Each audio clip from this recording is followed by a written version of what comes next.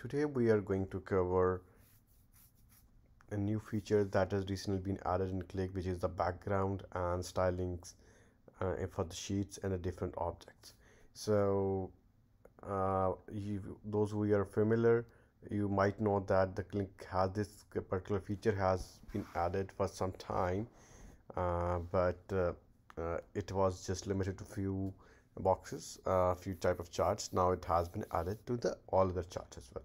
So i'm just gonna start here. I'm gonna start with bar chart. So let's just add quickly add a chart city and i'm gonna add a discount here. Okay and if i go to appearance i'm not going to work much in here but i go to appearance i have got styling options in here. So previously these options has been already been added but uh, there was not so rich and now we have the option for changing the font sizes font types um, for the different titles and this new feature the background color so it has been added. So we can just have any color in here now so you see we have changed the background and we can add the image as well. So this image can be anything. Um, from the media library we can just add that. I'm not going to do that for now. I'm just keeping it that in here. But interesting thing uh, let's we can also add another thing that we can do is we can add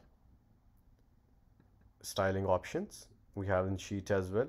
So I'm going to add this sheet. I'm gonna go keep it to the start in here. And I'm gonna so this has been but now if you see it has been covered. So there is a very good other option for styling background color as X color by expression. And in expression you can use RGB hex or ARGB ARGB is very good color option. So if I use ARGB and I can make it transparent and by the way these can be dynamically dyed uh, based on certain things. It can change your background color. Now if I see you see I have the see-through in in here. And this is a very good option if we want to. And this can be made see-through or anything dynamically uh, based on as it is uh, based on the certain formula bar we can use that. And uh, then we have the we have table charts. So let's just add a table in here. And I'm going to just add quickly a city. And I'm going to add a mayor here? Again. Let's add this time I'm going to add margin okay and I go to appearance and again presentation. I have the styling option. So I'm not going to um, heard uh, change the titles. I'm just going to change the background color.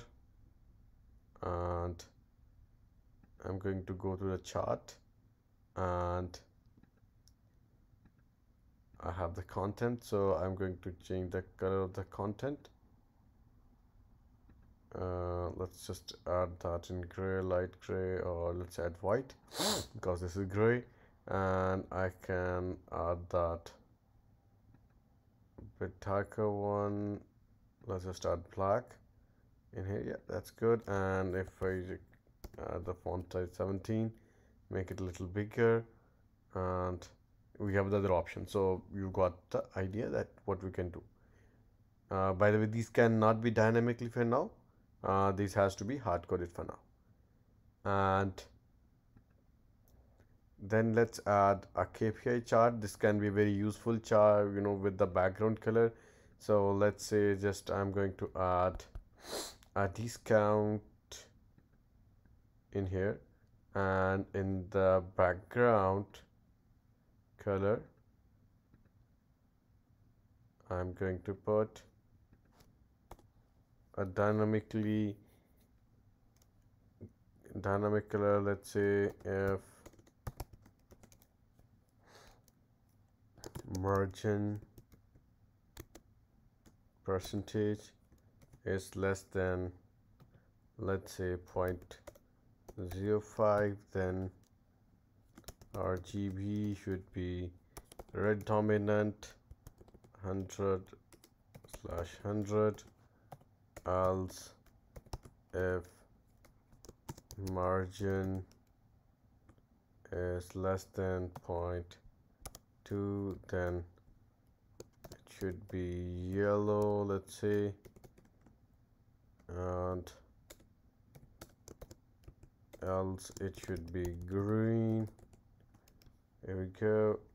Let's clear. It okay apply the function and here we go. Oops it's red. I don't know why it's red. Oh we have we are using discount. So let's just instead of a discount I'm gonna add margin here as well for my years the margin percentage.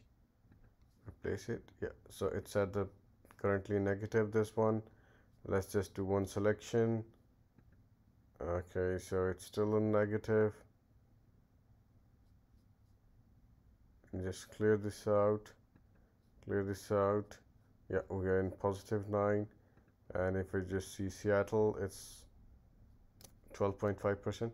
So we can play around with this uh, colors uh, in the background. So this is uh, and we can also change the color of the back sheet as well. When that is again we can have it dynamically. So all these options has been added and that will help you to make your dashboard a little more appealing. Thank you very much for watching